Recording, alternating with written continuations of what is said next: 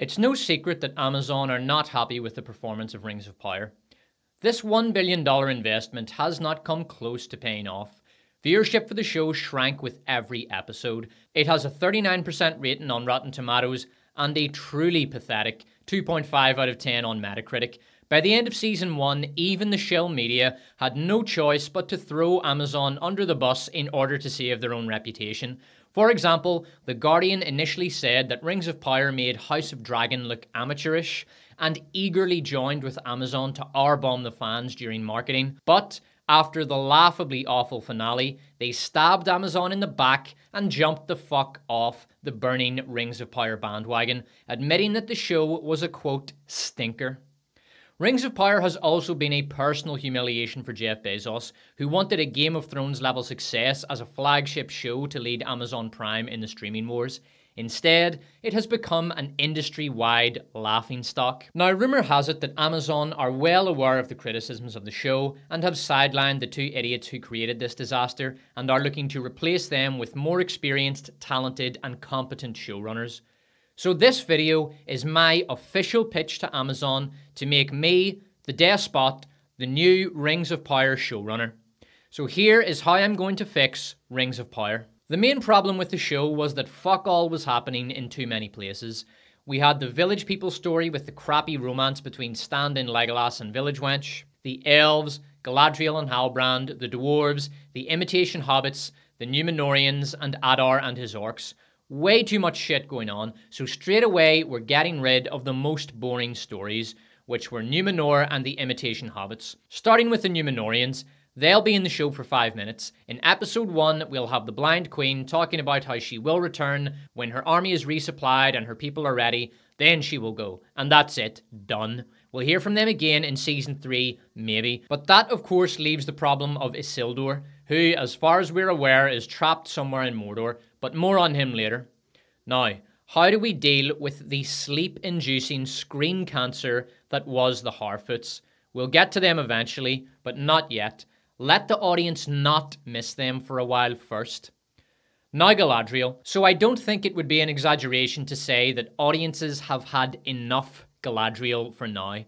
Galadriel didn't manage to kill Sauron in the end, but she did kill an even worse, much more destructive and evil villain, Mary Sue. Audiences have clearly had enough of that millennial movie trope, and Galadriel was the asteroid that broke the camel's back. So Mary Sue Galadriel is gone. Now, obviously, this creative decision will be opposed by Jennifer Salke, the head of Amazon Studios. This woman cancelled an apparently awesome adaptation of Conan and fired the guys who were writing the Conan script because she felt the show promoted toxic masculinity. Those showrunners then went to HBO and made House of Dragon, which fucking crushed Jennifer's Rings of Power. So, how do we avoid the gaze of Medusa? This is how we're going to do it. While we're filming the real season 2, we'll have a fake production set up, Argo style, to trick her into thinking that season 2 will be the same crock of woke shit that season 1 was. We'll have transgender elves, interspecies gay couples, we'll have fourth wall breaks in which pink haired female orc feminists look into the camera and say things like, so I guess you're wondering what a pink-haired feminist female orc is doing in Lord of the Rings? Well, you see, this show totally wasn't written by an old racist white guy, so there's that. And, uh, oh yeah, we hate bigotry. Huh, funny how that works. Anyway, uh, I've got to go destroy the whole elven patriarchy thing, so yeah, peace or whatever. We'll have long, boring conversations between the different races about how sexuality and pronouns work in their society. I use they and them as my pronouns, and when someone uses they and them as my pronouns, I feel like that person is listening to me. That person cares about me, and that person wants to have a conversation with me. And that I respect for my gender is really, really important. We'll have analogies meant to be a commentary on real world racism. So there'll be a kingdom bordering Middle Earth called the SUA that will be depicted as a morally backward, evil, racist, sexist, imperialist patriarchy. Galadriel will be introduced in season 2 in hot pursuit of a slobby looking male elf who fled Rivendell in order to avoid paying alimony to his ex wife. The fugitive takes shelter in a fortress of men. Galadriel rides up, demanding the alimony fugitive's head. The men laugh at her from behind their walls and tell her to run off back to the kitchen, and in an instant she scales the walls in an epic display of her parkour mastery and castrates every man that gets in her way, finishing by capturing the fugitive elf, stripping him, roping him to her horse, and pulling him through the shit covered roads back to Rivendell. Just the kind of hero we need to see on screen, the kind of strong female lead that a modern audience can get behind. Yeah, we'll have all that bollocks that Hollywood types love. Medusa, or whatever the fuck her name is, she'll love it. And look, obviously, I can't write both the real and the decoy script for season two, so if you do have some good ideas that you think will keep Medusa happy, please put them in the comments. In the real show, Galadriel will go through a character arc and become a leading character again in season 3, but in season 2, she will be demoted to a peripheral role. Though she will feature prominently in the season finale, she mostly mopes around discount Rivendell, having the odd conversation with El about the political events of Middle Earth and the elven response to it. We do need some exposition after all. And when she does talk about Sauron to her GBFF Elrond, we get the sense that maybe she's beginning to regret her decision to reject him. Let's be real here. People break up, they get back together, they get married, they're together forever. It happens. You know, it's it's, it it's not I don't totally believe once it's called a breakup because it's broken. You know, like I but like I just think sometimes people don't have the tools to express their needs and things like that Yeah. and a lot of times it is totally over forever. But when you still have a lot of love for somebody The problem is, Sauron's no longer interested in Galadriel. He has been going through a character arc of his own. He's been binging clips of Andrew Tate, and now he's fully embracing the ultra masculine alpha Chad philosophy. If you think you're going to find a man with options who's going to genuinely, genuinely never ever consider those options ever, then he's just a low value dude. That's the reality of the game. The reality of the game is if the guy has choices, he's going to consider those choices. Let's now tidy away a plot element that really shouldn't have been in season 1 at all the relationship between stand in Legolas and Village Wench. That relationship was pointless, boring, had no stakes, was not connected to the plot, and just ate up screen time. So, this is what we're going to do in season 2. Stand in basically just gets bored of her. Come on, let's be real here. He's been posted to that village for 78 years. This isn't his first wench, and he was always going to trade her in for a younger girl sooner or later. But we're done with the snail's pace plot, so we're going to do it sooner. Episode 1. We're in the new village, basically a glorified refugee camp set up by the elves for the survivors from the Southlands. Here, Stand In has of late been turning his gaze toward a potential new conquest, a 13 year old girl named Lolitalas. During a conversation with her, Stand In discovers that her parents were killed during Adar's destruction of the Southlands, and now she's all alone. He immediately goes to Village Wench and tells her that he needs to take this young girl, Lolitalas, on a journey to find her parents. Village Wench offers to accompany him, but he tells her, no, no, time is of the essence and all that, so thanks for everything, good luck and bye. He then takes Lolitalas off on an adventure across Middle Earth, keeping her happy by spending money on her that he robbed from the refugee camp treasury just before he left. But of course, where's the tension? Where's the drama? No one wants to just watch some asshole thief off with his latest piece of forbidden fruit. So the whole time, there's hints that Stand-In and Lolitalas are being followed by a dark presence, which will eventually cause Stand-In to go mad. A bonus to this subplot is that critics will love it. Just look at their reaction to Cuties. This will increase our critics' scores by at least 25%. Back to Rivendell, Gil Galad, the Elven King, has been acting increasingly strange. He spends long periods of time in his inner chambers with a select group of pretty but increasingly desiccated looking elves. He gives commands that don't make any sense, and has recently ordered a large collection of glass tobacco pipes made for him. He's beginning to look like real shit. He seemed pretty out of it in season 1 and had a greyish, unhealthy looking pallor, but now he looks like one of the Oathbreakers from Return of the King. We soon discover that the man has become a full on junkie and is now dependent on a mysterious ashy substance. Elrond takes a sample of the substance to Celebrimbor, his now full on gay lover. A homosexual attraction between them was teased in season 1, but we need to go all in on that in season 2. This will be Amazon's March on Washington, Amazon's I Have a Dream speech, a statement of Amazon's support for the LGBTQIA2 plus community, their rights. This statement will echo into future generations. But obviously, we'll edit the gay stuff out of the show for viewing in Muslim countries and China. That goes without saying. After examining the substance, Celebrimbor determines that it is a toxic mithril byproduct made from slag left over from the refining process and gives it the name methril.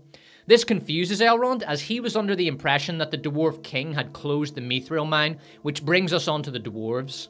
So as it transpires when Elrond visits Moria again, Disa has been secretly working the mithril mine to extract as much Mithril from it as she can, then exporting it all over Middle-earth. She has been using the profits of this operation to build a political faction inside Moria to overthrow the king.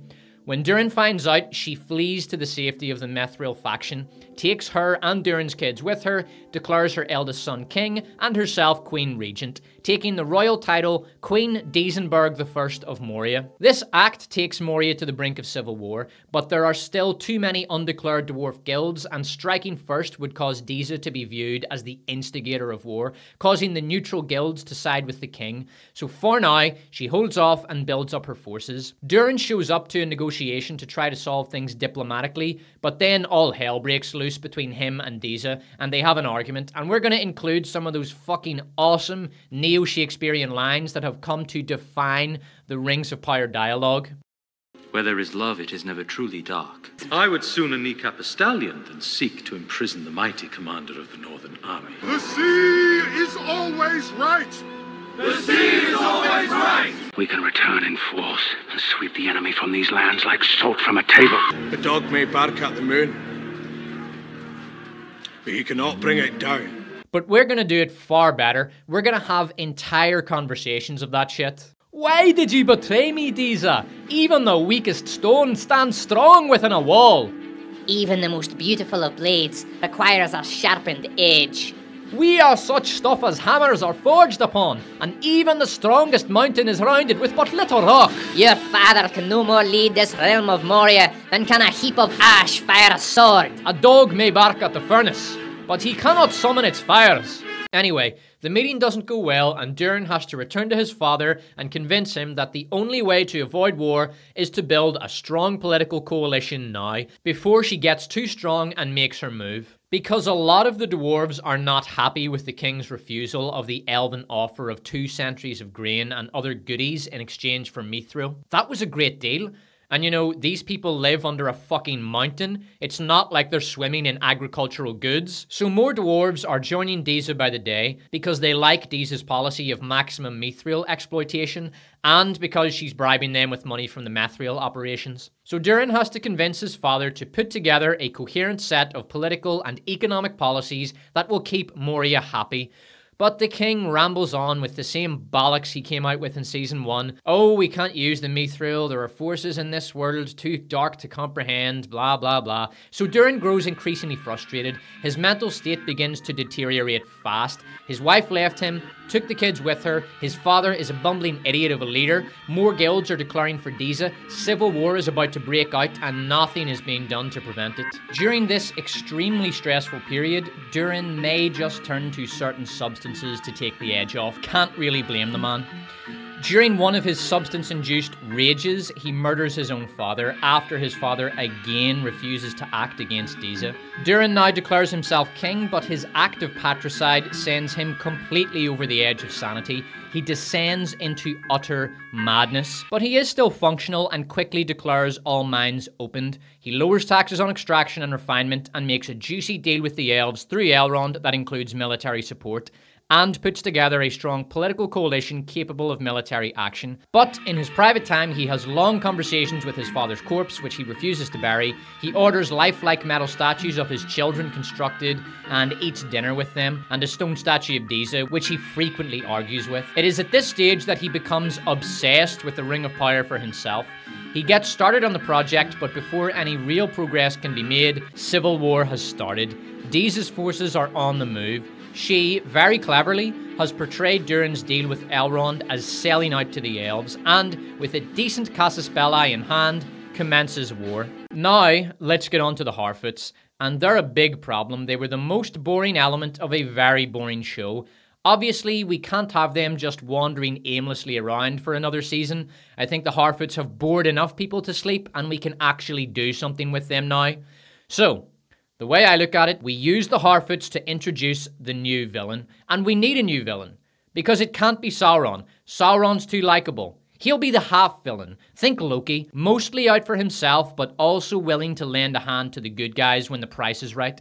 But we're not going to do the whole morally ambiguous, cliched trope. You know, he could have been a good guy but became a bad guy type villain. We want an utter son of a bitch, an irredeemably evil, sick, sinister, power mad maniac of a villain. Now, I'm not to lie, I have no idea who this villain is, but I say we just stick with the formula so far of opening up a Silmarillion character list, choosing the villain category, and picking a name. Because we all know no one on this project read the fucking book, and no one will. So fuck it, pick a name, and we'll use it for our character. Let's see, uh, Maglor. That's a cool name. Let's go with that. So Maglor has this fortress that he's built, and one day the Harfoots infest his lands and start pillaging his fruit grove. He shows up his evil monster elf type creatures surround the Harfoots. Maglor's already decided what he's going to do with them, but he toys with them for a while just for fun. Hey, he's a harpist, isn't he? Okay, so he says if the Harfoot's strongest fighter can beat his weakest, they can leave. So he plays the harp and sings to the accompaniment of the utterly sad spectacle of a little Harfoot trying heroically to best one of Maglor's beasts. Obviously, the Harfoot loses, but his attempt will earn this despised race of field vermin the sympathy of the viewers, and perhaps a few tears will be shed for them as they are marched off into Maglor's dungeons. Under torture, one of the Harfoots gives up Frodelma and Gandalf, and Maglor sends a squad after them. He realizes that if he can torture Gandalf into his own twisted monster wizard, it will be a valuable asset for him. The Harfoots will show up again, but not for a while. Gandalf and Frodelma are found and attacked by Maglor's squad. Gandalf manages to fend them off for a while, but it looks like all is just about lost when suddenly two of the Maglorians fall from arrow shots. A Deus Ex Machina hero charges in from the trees, and it's Stand-in. He has heard the fight while travelling with Lolitalas and charged in to aid the Satapon party. Gandalf and Stand-in manage to win the day for now, but a few Maglorians manage to retreat. Gandalf must get Frodelma to safety before more of Maglor's creatures come for her. He briefly thinks about asking Stand-in to take her, but Stand-in has these creepy, shifty eyes. He keeps looking around like he's worried someone is following him, and he just doesn't look right. He also seems in a hurry to get back to whatever he was doing before he came in to save the day. Gandalf also takes note of the fact that Stand-in has looted the bodies of the men he's just killed. So Gandalf thanks him and heads off. On the road, Gandalf and Frodelma meet a coachload of women heading south. The women say the new king of Mordor, Sauron, has decreed an open border and free welfare policy for all women of breeding age. Bear in mind, Gandalf has no idea who Sauron even is at this stage, so he thinks, yeah, sounds alright. It's better than wandering the roads until one of these Maglor creatures kills us. So he and Frodelma hop on the wagon and head south. Now we could do the video game movement sheet where we play music, show a map, and everyone arrives at Mordor after a few seconds in the same clothes and the same condition they were in when the music started playing. But instead, we'll let stuff happen elsewhere for a while. So stuff happens, probably in Rivendell, Elrond and Galadriel may be talking about the dwarves, then Maglor torturing hobbits, amusing himself with some local peasant girl he's captured, and some dwarf stuff. Then back to Gandalf and Frodelma. After days of being pursued by Maglor's squad, which involved many of the migrants, I mean refugees, being killed, they make it to Mordor, where Sauron, still high on Andrew Tate videos, allows Frodelma and the other surviving girls in, but not Gandalf, saying he needs breeding age bitches, not useless old men who can't compete in the Darwinian mating game. The masculine imperative and the masculine perspective is you have to understand that life is war. It's a war for the female you want. It's a com- it's a competition. Every chick's trying, every man's trying to get her. So Gandalf says a teary goodbye to Frodelma and takes off to Moria. He hears they're on the cusp of war and he's hoping to make a diplomatic intervention to prevent it.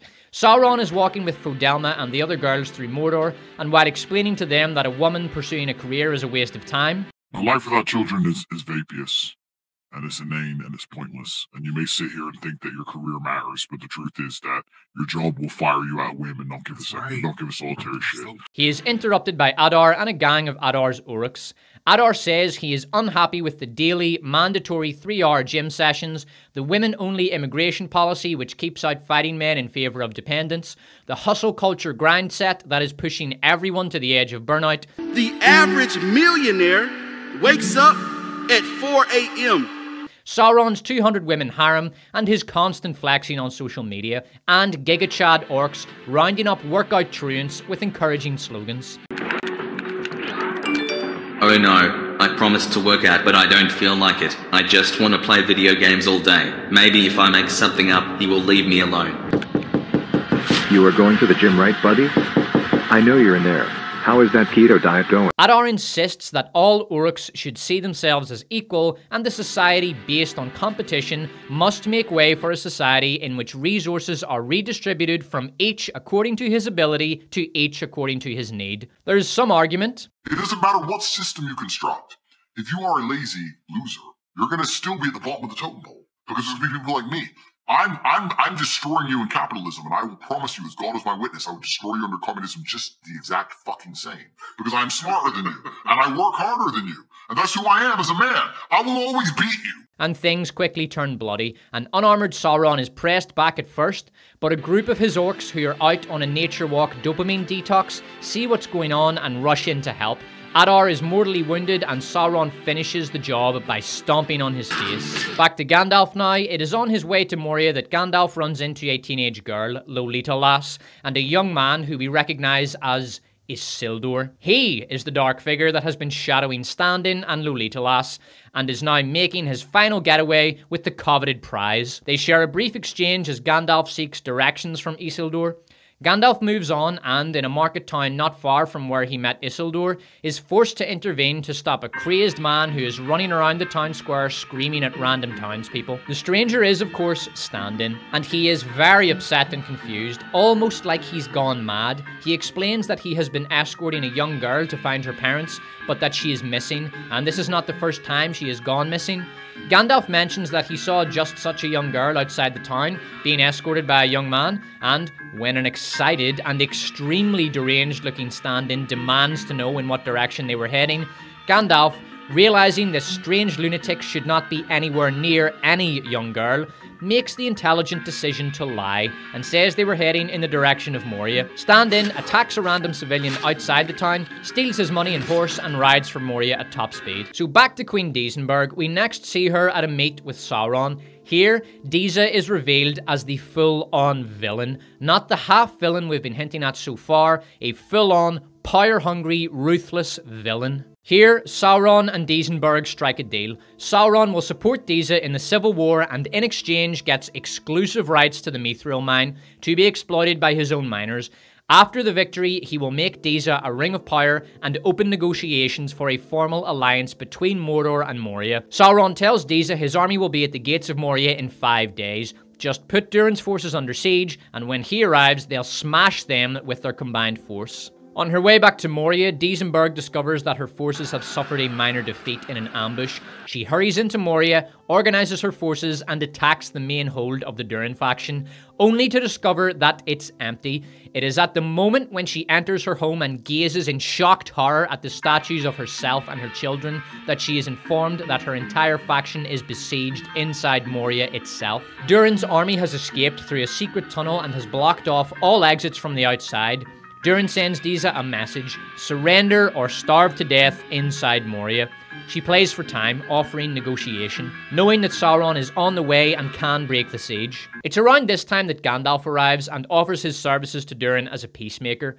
Durin sends him into Moria to present his demands to Disa and bring her response, because why the fuck not? He has nothing to lose by doing so. At this stage, Maglor arrives outside Moria with a medium sized army. He has heard that war has broken out in Moria and wants to get involved so that he can take a slice of the victor's cake when it's over. Very much taking a page from the Mussolini playbook.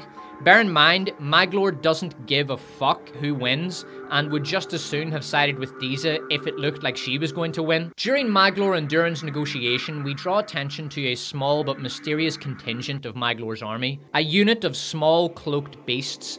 Maglor finds out about Gandalf and demands he be handed over. Durin agrees and they form a temporary alliance.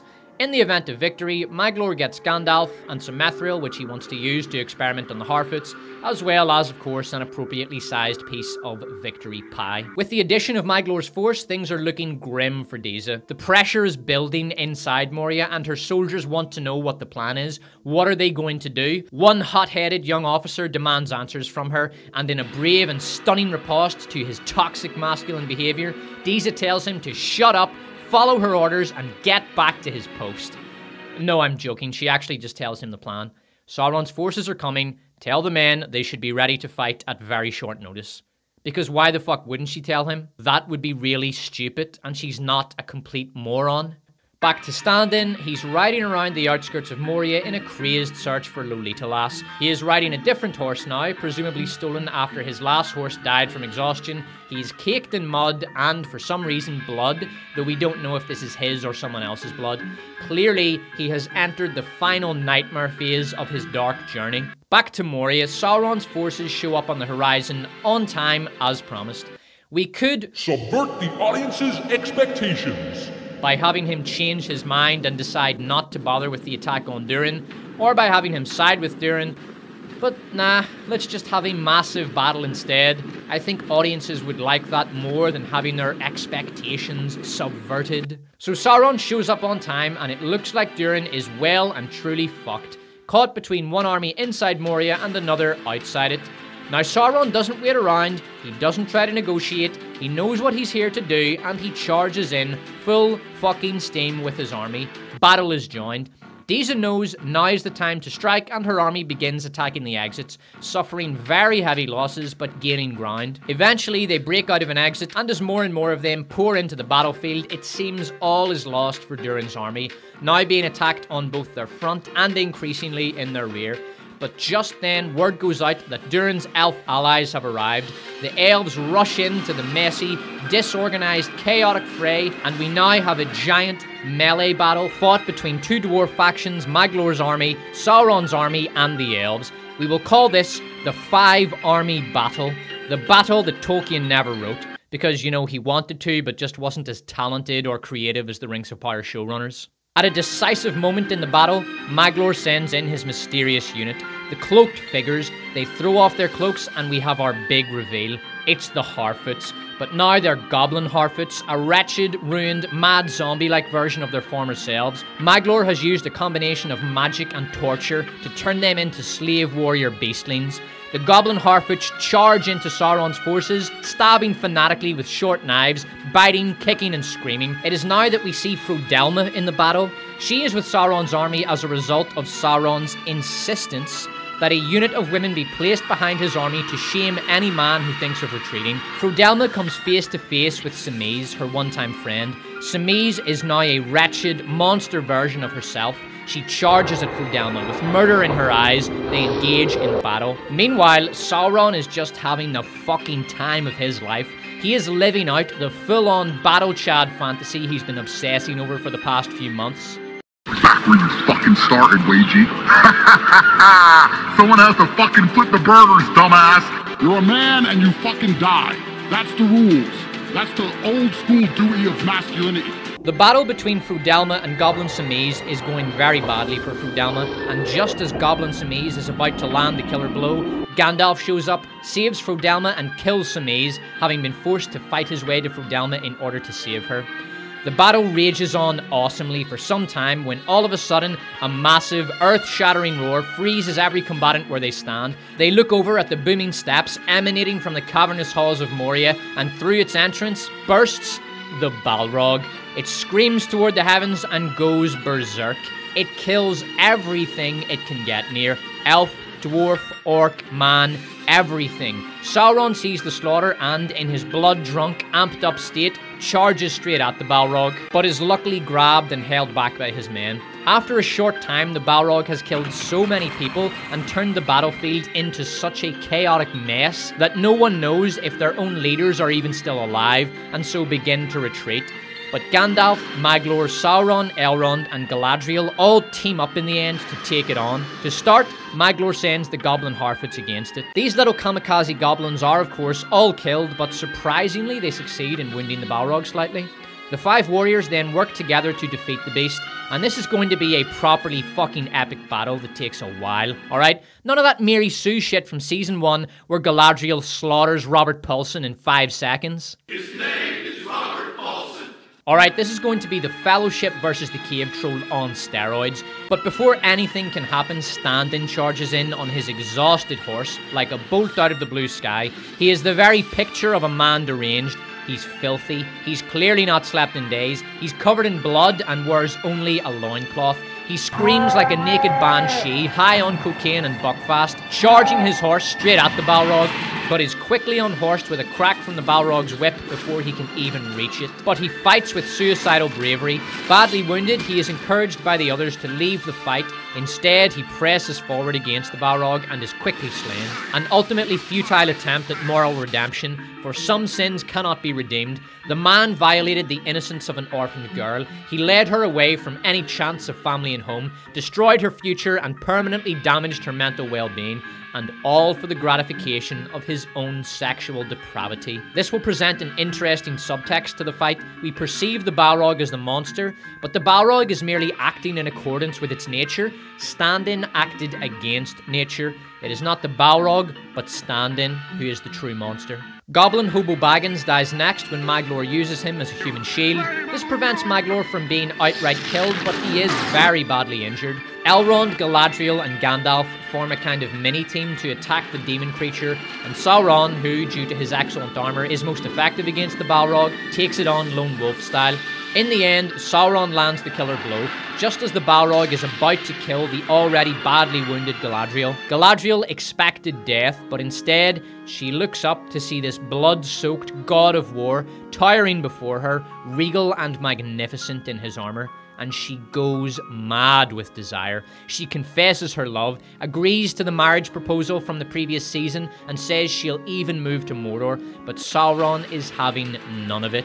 With his victory over the Balrog, his alpha transformation is now fully complete. You know what I truly think a high value man is? Mm. Is a man who could say no to pussy. And I mean this on a genuine level. Mm. Here's the problem. Here's the problem you girls don't understand. Galadriel returns to Discount Rivendell, a woman scorned, and begins to plot her revenge against Sauron and the world. She is no longer the pure hearted warrior of yesteryear, she is now a vengeful alpha widow. Her battle injuries prevent her from ever fighting again, and in season 3 it will not be her sword but her cunning that she will wield with a brutal precision, striking against a world that has left her a rejected cripple. Maglor is so badly wounded that he's dying. Gandalf agrees to heal him if he releases the last of the non-goblin Harfoots. He agrees, so Frodelma, Gandalf, and Maglor head off to Maglor's fortress. As it turns out, King Durin and Queen Disanberg are both among the many, many warriors slain by the Balrog. Seven dwarf lords who survived the slaughter agree to give Sauron a significant quantity of mithril if he forges rings of power for them, takes his army back to Mordor, and agrees to stay out of dwarven politics in the future. Sauron agrees, and the dwarves get their rings. The elves call off their deal with the dwarves now that Durin is dead and take off. The dwarves are not happy about this and will seek revenge in season 3. Elrond finds his lover, Celebrimbor, dying among the ruin of the battlefield. They have a heartfelt moment, and as his love dies, we see Elrond begin his descent, his transformation into the darker, world weary, and brutal warrior he will become. So now there's only one loose end we need to tie off Gil-galad. So prior to the battle, he has one massive final mithril blowout, then insists on personally leading the army going to Moria. The Elven High Council go along with it, hoping he'll get killed in the battle, but frustratingly, he just won't die. He keeps fighting, keeps killing orcs and dwarves and whatever else gets in his way, despite his reckless, mithril induced fighting. So, in the midst of the melee, Elrond runs into him. Gil-galad is amped to the fucking gills and, in a crazed monologue, declares his intentions for the elves with a neo Shakespeareanism. The elves will war against this Middle Earth as a fire rages through a dry brush, cleansing it of all the. But before he can finish, Elrond takes his head off. Elrond realizes that this junkie of a field king will lead his people to ruin, and so does what needs to be done. Now, this is a necessary part of Elrond's character development. When we were introduced to Elrond, he was behaving like this. By the end of the show, we need him doing this.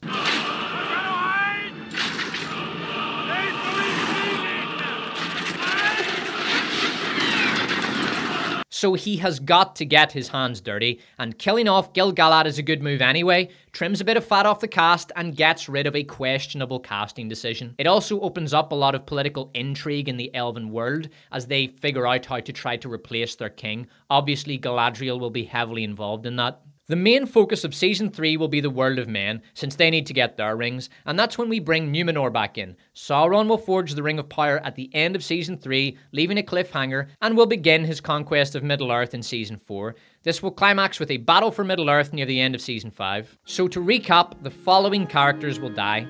Adar, Disa, Durin, most of the Harfoots, especially Hobo Baggins and Sammaise, Gil-galad, Celebrimbor, Stand-in Legolas, and the Balrog and Maglor and Galadriel will receive life-altering injuries. Maglor's injuries will be more severe and visible, making it easier for us to present him as a classical monster villain in Season 3. He will resent the fact that he was once beautiful, but is now a monstrous, battle-scarred wreck. Galadriel will be our half villain, still beautiful and possessing of a goodness deep within, but resentful, jaded, increasingly power hungry, and of course, pressed to wickedness by political reality. Elrond will continue to sink into a depressed rage, and Sauron will continue on his journey of alpha male personal development, even going so far as to make motivational videos and requiring all members of the Mordor military to watch them regularly. So that's my pitch. I will be emailing this to Amazon Studios and I'll let you know their response.